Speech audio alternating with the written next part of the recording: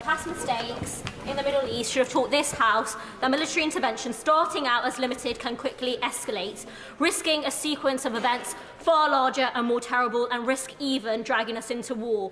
It is for this reason, according to reports in the Times, that Foreign Office officials were, and I quote, incredibly nervous about last week's military assault in Yemen.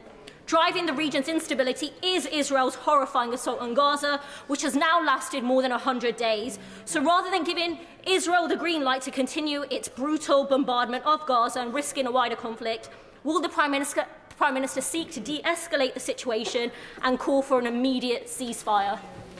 Prime Minister. Uh, perhaps the Honourable Lady would, would do well to call on Hamas and the Houthis to de escalate the situation. Andrew Percy.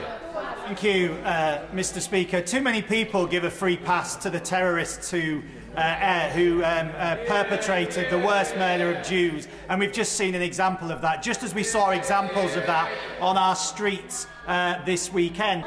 Order, Mr Deputy Speaker, and in line with the House's rules, I informed the member in question that I would be referencing him. In the previous statement, the member for Brigg Goole implied that I had just, and I quote, given a free pass to the terrorists who carried out the October the 7th attack. Mr Deputy Speaker, that claim is grotesquely untrue.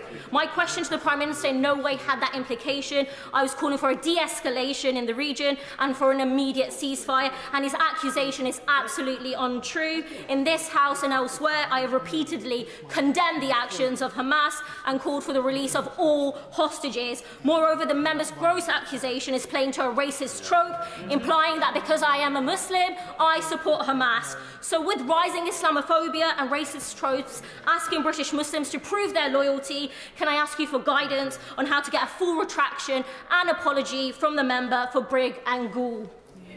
Further to that point of order, Andrew Percy. As loath as I am to engage in this silliness, let me be absolutely clear.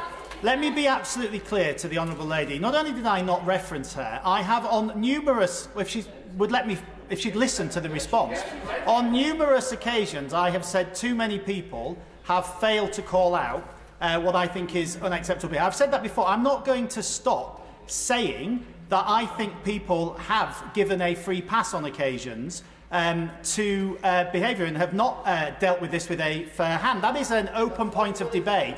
I have called people out on my own side for that. If she could sit here and listen to me, it has absolutely nothing to do with the um, thing. But I don't want to engage in this silliness. So I will say, I will say to the Honourable Lady, I have absolutely no intention of inferring at all that she is in any let me respond that she is in any way in support of any of that. I'm sure she isn't. I never said that. I would never say that. But I'm also, Mr Deputy Speaker, not going to not say what I think on issues in this House and call out what I think is on this issue too many people in this place giving a free pass to one side whilst not acknowledging the horrors that the other side suffered. Thank you.